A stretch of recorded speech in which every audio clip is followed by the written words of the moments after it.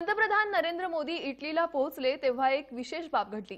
तिथे त्यांना नागपूरहून इटली इथे स्थायिक झालेल्या माहे गुरुजींनी गुरुजींशी संवाद झाला. तो चक्क मराठीत झाला. आपण हा संवाद पाहूयात.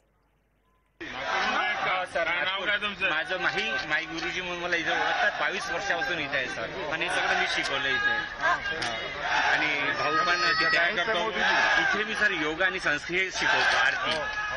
आणि यांना आहेत तुमचे शिष्य. सर इथे तर माझे कमीत कमी दोन लाख पर्यंत दोन लाख? यस आणि आयुर्वेदिक किती वर्ष झाले तुम्हाला? मला इथे वीस वर्ष वीस झाले वर्ष झालंय यस सर वा.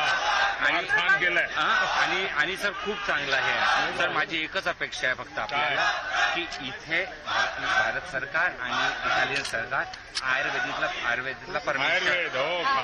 सर हा.